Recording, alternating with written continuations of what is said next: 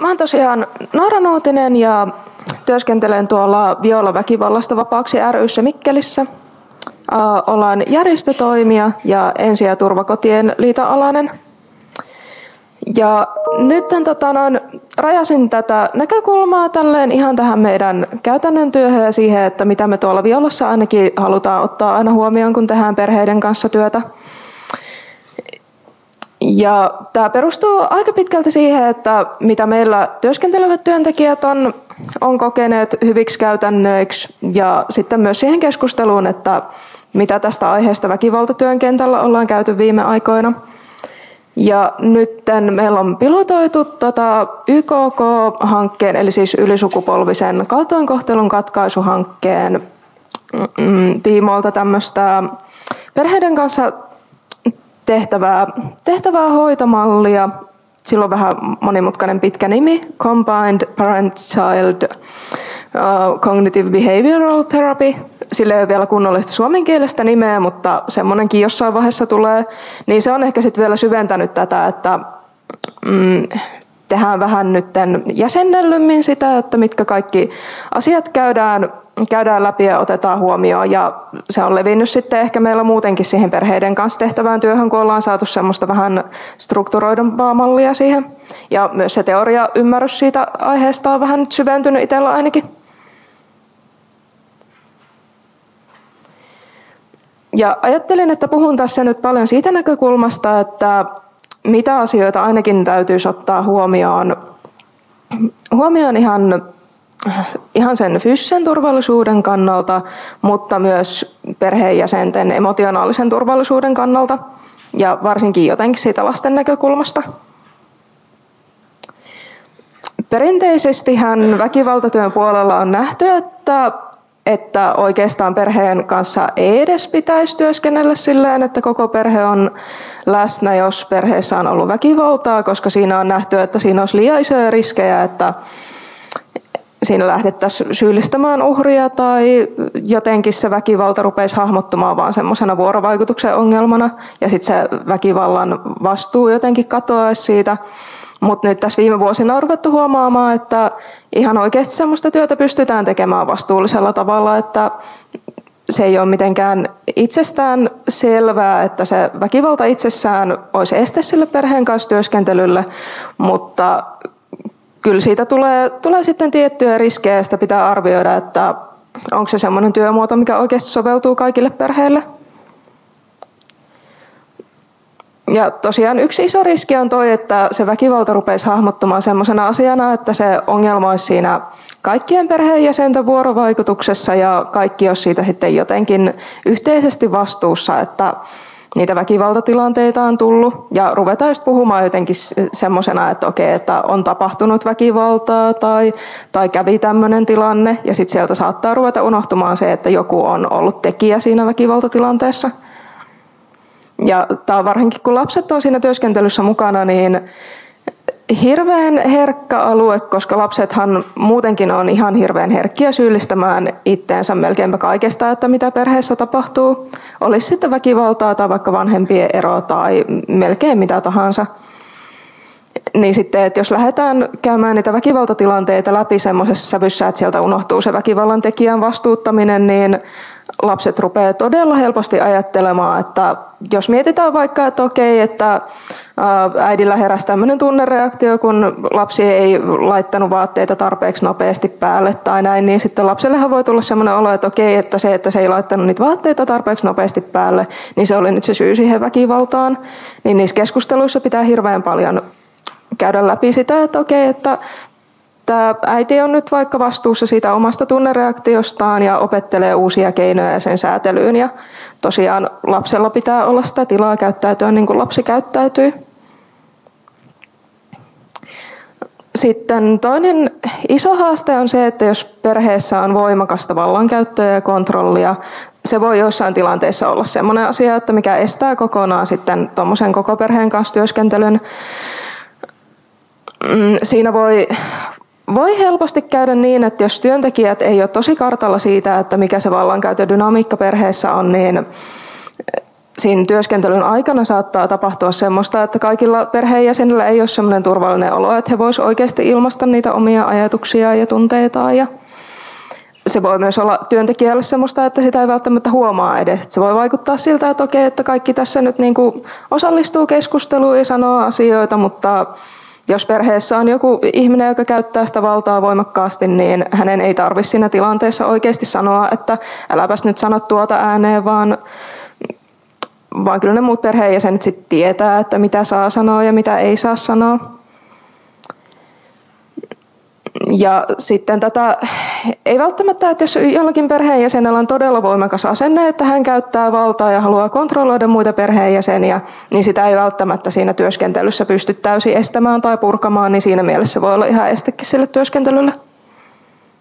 Mutta sitten jos siihen päästään puuttumaan ja vaikuttaa siltä, että väkivallan tekijä tai vallankäyttäjä ymmärtää sen, mitä hän tekee ja on valmis korjaamaan sitä toimintaansa, niin sitten ehkä voisi tehdä jonkinlaisen poikkeuksen, mutta olisin aika varu, varovainen tämän kanssa. Ja sitten yksi huolenaihe on myös ollut se, että voiko käydä niin, että kun työskennellään koko perheen kanssa, niin sitten tulee semmoinen tavallaan valheellinen turvallisuuden tunne siitä, että siinä tilanteessa on ok ottaa tiettyjä asioita puheeksi ja kertoa sitten oikeasti niitä omia ajatuksia ja tunteita. Ja sitten käviskin niin, että sitten siellä kotona käviskin ilmi, että okei, että no ei ollut ok, että sanoit näin. Ja sitten tulee konflikteja, jotka voisi sitten johtaa väkivaltaa. Ja tämmöinen riski on nähty ja näen, että se on ihan olemassa oleva riski. Mm, että Tämä on vähän, vähän hankala tavallaan, että kun niistä asioistahan pitäisi pystyä sitten jossain turvallisessa ympäristössä edes puhumaan, mutta sitten pitää vaan kiinnittää siihen asiaan paljon huomiota ja myös kertoa ihmisille avoimesti siitä, että tässä on tämmöinen riski, että näistä asioista saattaa kotona tulla riitaa ja sitten puhutaan siitä ja yrittää varmistaa se turvallisuus. Ja myös se avoimuus ja semmoinen, että kaikki perheenjäsenet oikeasti haluaa, että niistä asioista puhutaan ja niitä lähdetään selvittämään. Että ei ole niin, että yksi on sitä mieltä, että niistä ei olisi edes pitänyt alkaa puhumaan. No sitten joskus miettää myös sitä, että pitkittääkö tämmöinen koko perheen kanssa työskentely pahimmillaan sellaisia tilanteita, missä pitäisi oikeasti miettiä sitä, että voiko perhe edes asua saman katon alla. Mm, mutta se on aika harvinaista kuitenkin, että päädyttäisiin sellaisiin ratkaisuihin, että perhe ei jatka yhteiseloa. Niin kyllä useissa tapauksissa olisi tosi järkevää, että miettää sitä perheen vuorovaikutusta ja sitä, että miten se yhteiselo sujuisi oikeasti turvallisesti. Ja tämä lapsen näkökulma on tässä tosi tärkeä ja ja sitten sitä on ajateltu, että se saattaa sivuuttua tässä, että kun lähdetään tarkastelemaan sitä koko perheen vuorovaikutusta. Mutta niin kuin tässä on seuraavalla dialla vähän ratkaisuja näihin asioihin, niin tuo lapsen näkökulmakin pystytään siellä mun mielestä pitämään aivan hyvin mukana. Mihin sitten mulla olikaan aikaa? Joo, jep. Mm, Joo, vähän tuossa äsken tulikin näitä asioita sivusin. Eli tärkeää niissä työskentelyissä on, on ainakin tämä, että jatkuvasti korostetaan sitä, että väkivallan käytölle ei ole koskaan oikeutusta.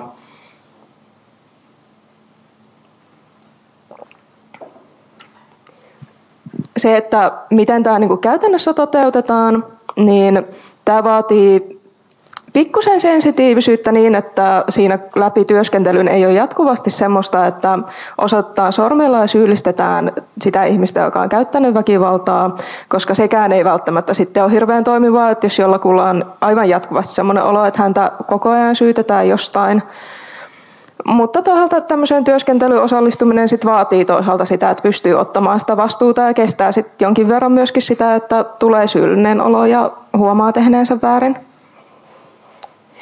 Ja just tämä seuraava pointti, että sillä ihmisellä tai ihmisillä, jotka on käyttänyt väkivaltaa, niin pitää olla kyky ottaa sitä vastuuta ennen kuin tämmöistä työskentelyä aloitetaan. Et lapsia varsinkaan ei voi olettaa sellaiseen tilanteeseen, että okei, koko perhe tulee tapaamiseen ja sitten vanhempi käyttää siitä aikaa sitten siihen, että kertoo, että ei tämä nyt oikeastaan ole hänen syy ja kun tuo lapsi on niin vaikea ja sillä on ADHDkin ja Ja tämmöistä, mikä on tosi ikävää, että jos niin sattuu joskus käymään, että tämmöinen tilanne tulee. Joskus niitä voi olla vaikea ennakoida, että voi olla, että joku ottaa sitä vastuuta silleen näennäisesti jonkinlaisessa alkutapaamassa vaikka, mutta sitten saattaa kääntääkin kelkkaansa ja sitten ne on lapselle tosi ikäviä tilanteita. Ja sitten niihin pitää käyttää hirveästi aikaa niiden purkamiseen, että ettei sille lapselle oikeasti jää sellainen olo, että tämä on kaikki hänen syytä. Mutta parhaimmillaan lapselle tulisi siitä sellainen kokemus, että oikeasti näkee ja kuulee sen, että vanhempi ottaa vastuun omasta toiminnastaan ja haluaa sitä muutosta ja haluaa, että perheessä menisi asiat paremmin.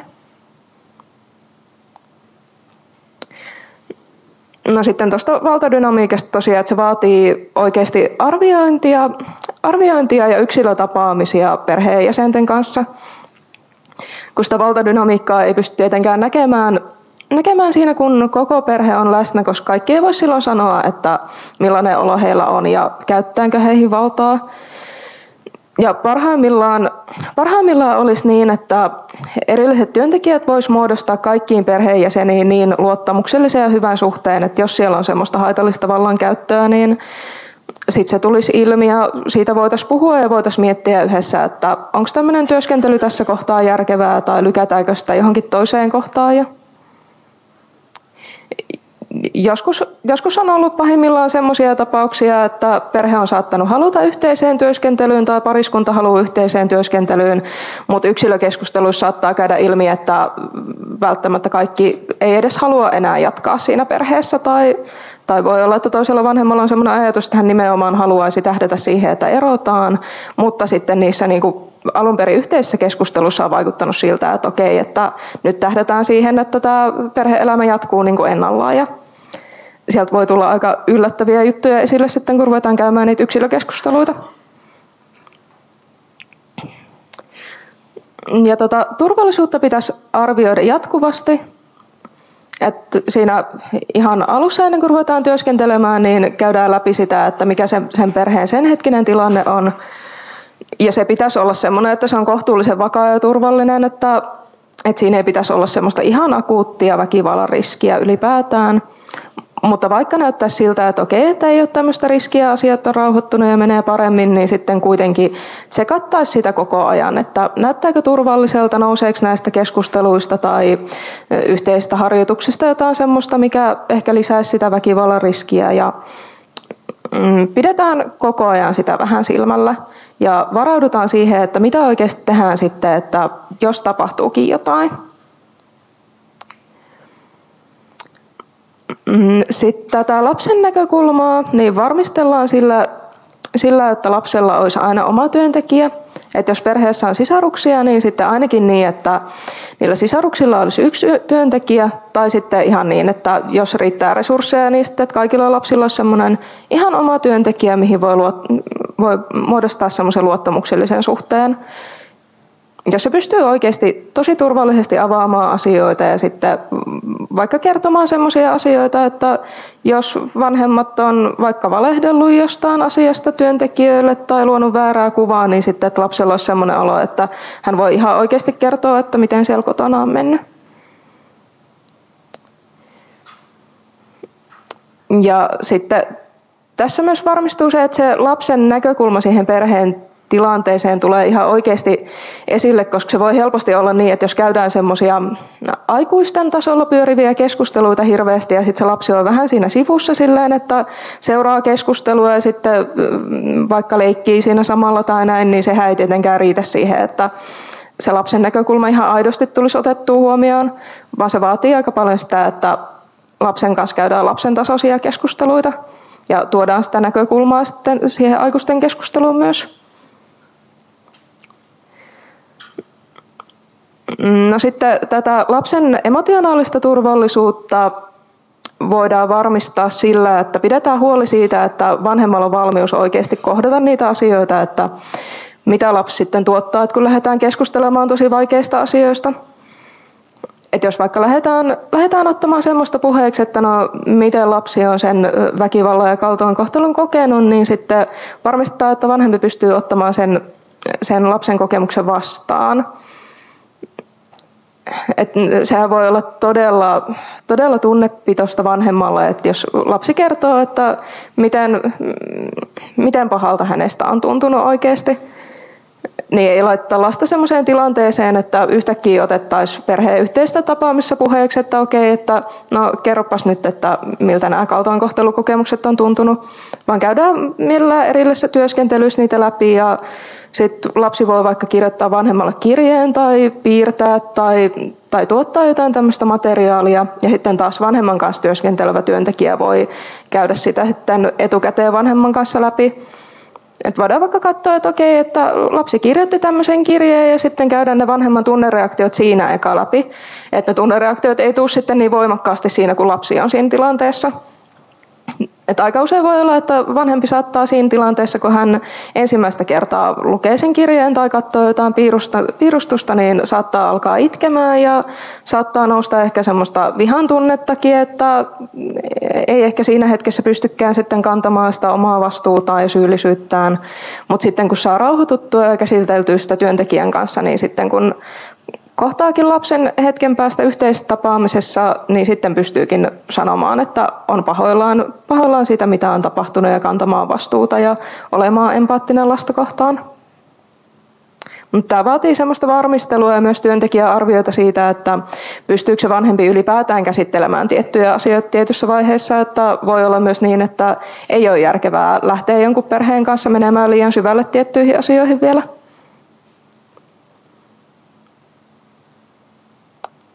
Sitten tässä on vähän tämmöisiä mm, vähän konkreettisempia juttuja, että mitä voidaan tehdä, että varmistetaan tätä työskentelyn turvallisuutta perheen kanssa. Ensinnäkin tämä, että arvioidaan alussa kunnolla sitä, että onko tämä semmoinen perhe, jolle tämmöinen työskentely sopii. Ja sitähän voi sitä soveltaa ja miettiä, että mm, mitä vaihtoehtoja on. Et ei välttämättä tarvitse olla semmoista, että koko perhettä tavataan intensiivisesti monta kertaa yhdessä pitkiä sessioita, vaan voidaan vaikka osallistaa vanhempaa mahdollisimman paljon lapsen työskentelyyn, pitää satunnaisesti jonkinlaisia yhteisiä tapaamisia tai mikä nyt sitten perheelle tuntuu oikeasti sopivan. No sitten tämä, että kaikki perheenjäsenet tosiaan saisi käydä myös jonkinlaisissa yksilötapaamisissa tai että niistä yhteistä tapaamista, yhteistä tapaamisista käytettäisiin osa aikaa siihen, että pystyy, pystyy olemaan kahdesta oman työntekijän kanssa. Ja just tämä, on useampi työntekijä siinä, ei pelkästään sen takia, että kaikilla perheenjäsenillä olisi oma työntekijä, vaan sen takia, että tämmöiset koko perheen kanssa työskentelyt voi olla työntekijällekin aika haastavia ja kuormittavia siinä mielessä, että siinä pitää pyöritellä niin monta eri näkökulmaa. Ja pitää pystyä pitämään mielessä sekä väkivallan kokijan rooli ja tekijän rooli ja aikuisten ja lasten roolit. Ja tämä vaatii aika paljon, aika paljon työntekijältä. Ja se, että siinä on joku työ, kanssa näitä näkökulmia pyöritellä, niin se on ihan tosi tärkeää. No sitten tätä kartoittamista voidaan tehdä silleen tosi systemaattisesti, että voi olla vaikka joku ihan kartoituslomake, vaikka semmoinen raksi lomake, missä käydään läpi erilaisia väkivallan muotoja ja katsotaan joka käynnin alussa, että onko ollut jotain. Ja se on kiva, jos niissä kartoituslomakkeissa on sit myös jotain positiivista sille, että se ei ole pelkästään semmoinen checklisti, että onko ollut väkivaltaa, vaan siellä voi olla myös jotain semmoisia positiivisen kasvatuksen muotoja tai jotain hyviä asioita. Ja tämä psykoedukaatio väkivallasta on tosi tärkeää. Varsinkin niitä juttuja, että mit, mitä syitä väkivallan käyttämiselle on ja se, että ne syyt ei oikeuta väkivaltaa. Ja lapsille, lapsille saa kyllä kertoa näitä todella moneen kertaan sitä, että, että väkivalta ei ole heidän syytä. Ja sitä on lapsille välillä todella vaikea selittää, selittää jotenkin lapsen tasoisesti, että miksi se vanhempi käyttää väkivaltaa. Että sehän nyt on aikuisillekin ja meille työntekijöillekin aika haastava teema, että minkä takia vanhempi käyttää väkivaltaa omaa lastaan kohtaan. Mutta lapset jotenkin niin kuin yllättävän, yllättävän hyvin pystyy näitä aiheita käsittelemään ja ymmärtää sitä psykoedukaatiota myös välillä hämmästyttävän hyvin. No sitten on tärkeää, että lastensuojelu olisi kontakti mielellään aika tiiviskin voisi olla sellainen, että voisi melkein milloin tahansa soittaa sosiaalityöntekijälle ja kertoa vähän, että miltä se perheen tilanne vaikuttaa. Ja Tietysti aina ei välttämättä käytännössä mahdollista, että se kontakti olisi ihan hirveän tiivis, mutta sitten vähintäänkin se, että aina jos perheessä tapahtuu jotain, mistä olisi aiheellista tehdä lastensuojeluilmoitus, niin sitten, että niitä tehtäisiin tehtäisi aika matalalla kynnyksellä. Ja sitten tietysti, että jos on aihetta ottaa yhteys poliisiin, niin sitten otetaan, että ei luottaa siihen, että okei, että perhe on jo työskentelyssä, että kyllä tämä on ihan ok näin, vaan siitä aina jos tapahtuu jotakin, niin sitten normaalin käytännön mukaan, niin tehdään ilmoitukset ja puututaan. Että se myös lähettää perheelle sitä viestiä, että ihan oikeasti näitä asioita ei saa tapahtua enää. Ja sitten vielä tämmöinen, että voidaan tehdä turvasuunnitelmia. Mm, nämä voi olla monenmuotoisia vähän riippuen perheen tilanteesta, että voi olla ihan semmoisia turvasuunnitelmia, että jos tulee väkivaltatilanne, niin soitetaan hätänumeroon ja miten päästään kotoa pois hyvin ja ihan tämmöistä. Mutta sitten voi olla myös semmoista mm, henkistä turvallisuutta myös, että miten vaikka joku riitatilanne, niin miten se hoidetaan semmoisella tavalla, että kaikilla pysyisi semmoinen turvallinen olo. Että voidaan vaikka miettiä semmoista, että voisiko isä tai äiti vaikka käydä ulkona haukkaamassa happea? Vähän, jos tuntuu siltä, että rupeaa tulla niin voimakas vihan tunne, että ei ehkä kontrolloi itseään enää, tai voi olla joku semmoinen semmoinen tota, noin sana, minkä voidaan sanoa, että jos tulee turvata olo, niin on käytetty joskus vaikka semmoista, että voi sanoa vaikka, että norsu ja sitten kaikki perheisännet tietää, että sitten otetaan henkeä ja kaikki menee rauhoittumaan omalla tavallaan tai, tai tämmöisiä keinoja voidaan ruveta käyttämään. Et se myös lisää, lisää lapsille semmoista oloa, että jos jatkossa tulee jonkinlaisia konflikteja, koska niitähän tulee joka tapauksessa, niin sitten olisi jonkinlainen suunnitelma ja ennustettavuus siitä, että miten se sitten toimii. Joo. Tässä on aika lailla nyt, että mitä olen suunnitellut sanovani. Tuleeko jotain kysymyksiä tai kommentteja? Uh, joo, kysymys oli tosiaan, että miten, että jos lapsi ja huoltaja menee vähän eri tahtiin näissä omissa prosesseissaan, niin miten se sitten toimii. Ja sitten oli toinen kysymys vielä, että kuka sitten tämmöisen työskentelyn sitten loppupeleissä maksaa, että jos miettää, että tämmöinen perheelle olisi hyvä.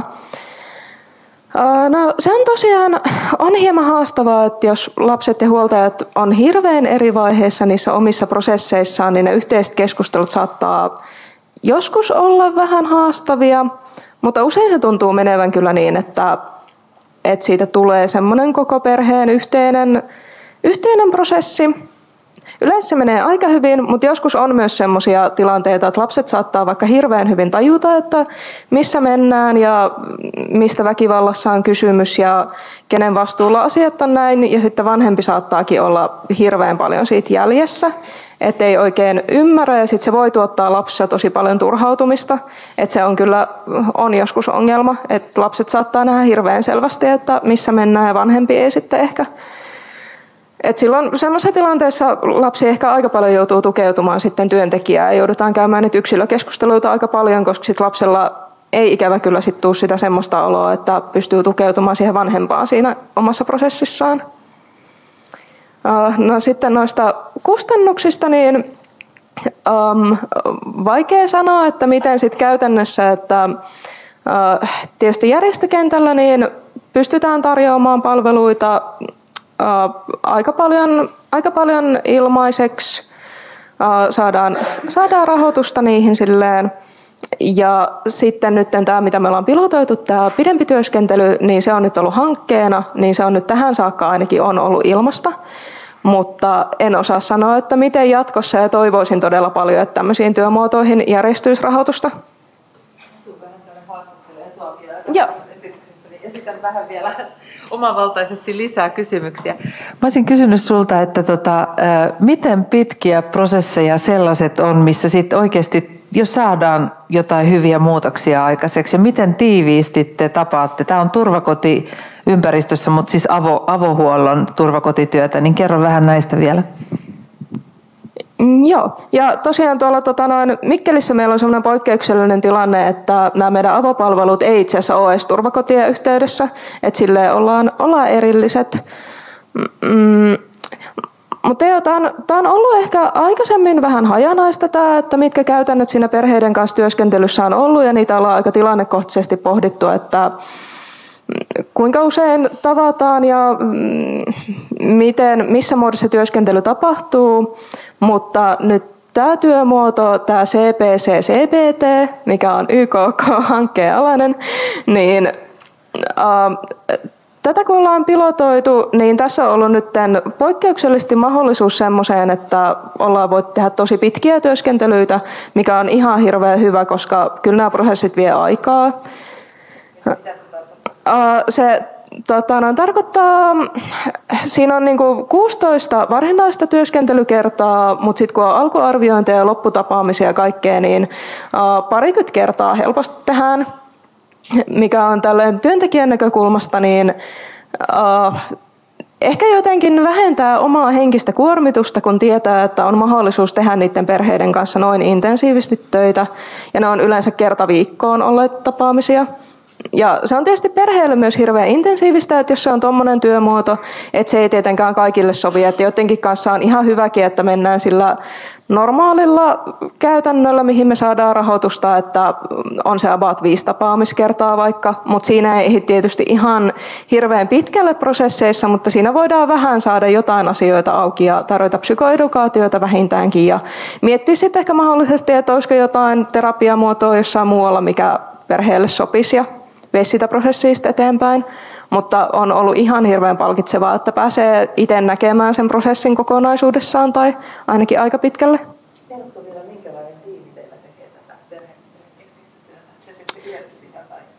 Uh, joo, tehdään yhdessä, että meillä on ylipäätään asiakkaiden kanssa tosi tiivistä yhteistyötä, kokijatyötä ja tekijätyötä tekevien työntekijöiden kanssa – Itse teen oikeastaan kaikkien osapuolten kanssa, että lähinnä väkivallan kokijoiden kanssa ja kaiken ikäisten asiakkaiden kanssa.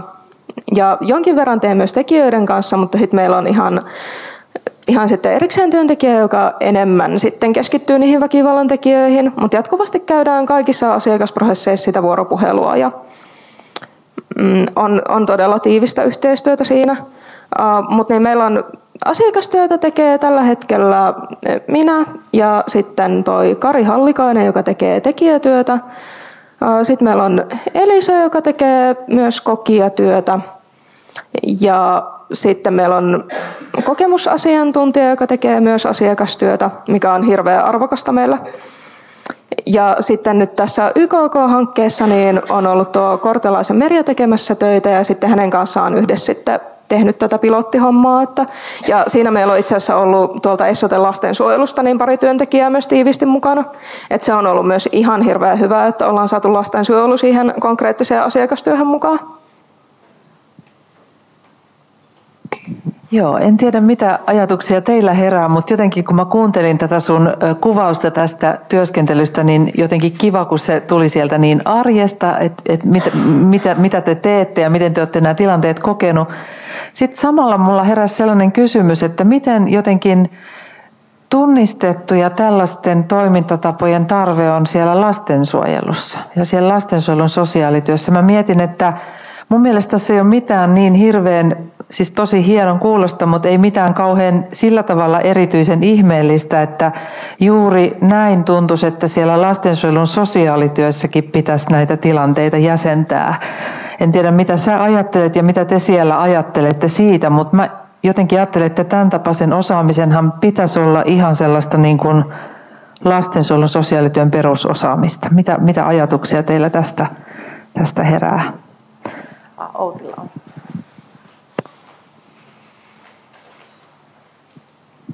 No niin, mä olen Outi Abrahamson ja tuot oikeuspsykiatriat enkä to, todellakaan lastensuojelun asiantuntija, mutta tota, noin niin systeemisen, systeemisestä tiimistä tiedän kouluttajana.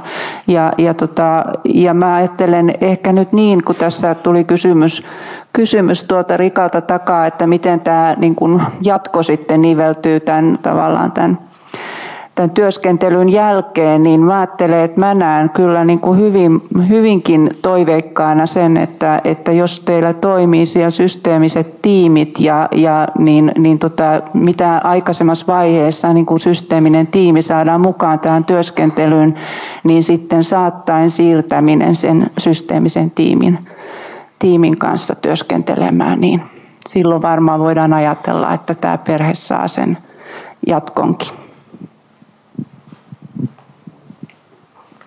Mitä sä Outi ajattelet, kun tunnet systeemisiä tiimejä, että mitä sä ajattelet niiden mahdollisuudesta työskennellä tällä otteella? Tietysti tässä on nämä, että tavataan 16 kertaa ja tiivistä ja on nämä resurssiasiat, mutta noin periaatteessa. No periaatteessa mä ajattelen, että systeemisessä tiimissä on kaikki palikat kohdallansa. Siellä on perheterapeutti-kliinikko, joka, joka tota, no, niin pystyy tuomaan sitä, sitä osaamista ja näkemystä siihen.